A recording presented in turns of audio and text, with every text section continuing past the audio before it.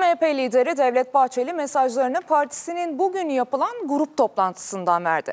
CHP ve lideri Özgür Özel'i hedef tahtasına koydu. Muhalefetin iflas bayrağını çektiğine vurgu yaptı. DEM Parti ile işbirliği üzerinden sert eleştiriler yöneltti.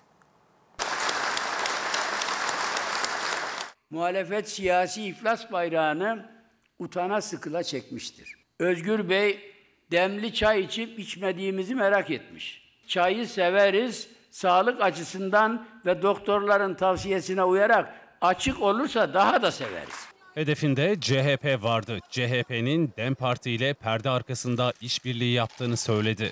Demin özellikle İstanbul'da yaptığı ayak oyunları, sahnenin önünde sözde aday çıkarıp sahne arkasında CHP ile el ele vermesi hiçbir işe yaramayacaktır. Demlenmiş CHP Türkiye'den kopmuştur. Özgür Bey, maşallah ayakkabı mağazası gibisiniz. Allah için sizde her ayağa uygun bir numara olduğunu görülüyor. CHP lideri Özgür Özel'le başlayan demli çay polemiğini sürdürdü. Özgür Bey canın demli çay mı çekiyor? Senin için de bir bardak çay ayrılalım ama demli çaydan başka bir maksatla istersen kusura kalma.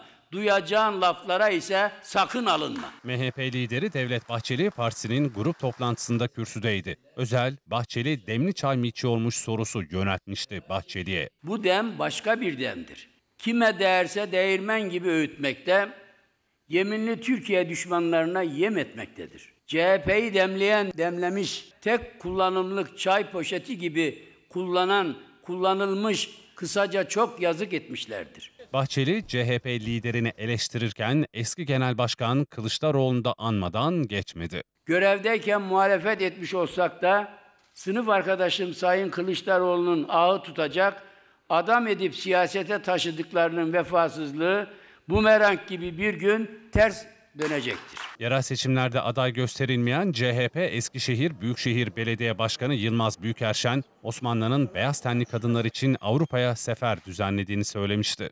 Büyük erşenin aklında ne varsa o da diline yansımıştır. Yazıklar olsun diyorum. Haydi tarihten feyiz almadın diyelim. Peki yaşından başından da mı utanmadın?